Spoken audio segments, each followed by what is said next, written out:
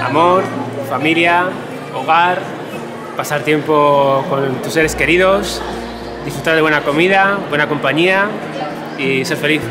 La Navidad para nosotros significa felicidad y estar con la familia. Fiesta, alegría, cava, mucho cava. La verdad es que es el reencuentro con mi familia, que veo muy poquito.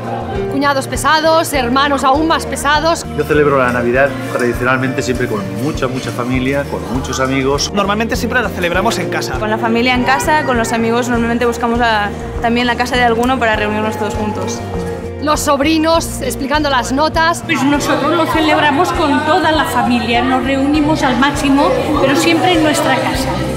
Cocino, me disfrazo, lo que sea necesario, porque me encanta disfrazarme. Para meternos dentro de casa nos tenemos que organizar, a veces nos tenemos que meter en el garaje. Moviendo muebles, poniendo caballete, poniendo tablas para cenar, la mesa caótica de niños, de adultos.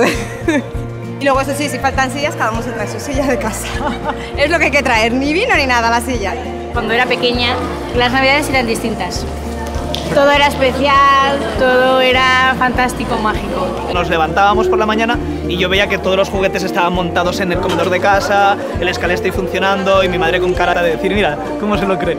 La verdad que recuerdo más especialmente cuando eres pequeño, la emoción de abrir regalos, la emoción de de ver a tus abuelos, gente que no está. Hombre, siempre les echas a seres queridos, ¿no? Que, están, que faltan, siempre te acuerdas de ellos, la verdad. Mm. La Navidad es cariño.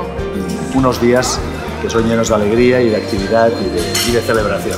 Es el momento más mágico. Dulzura. Ilusión. Felicidad, eh, familia, amor.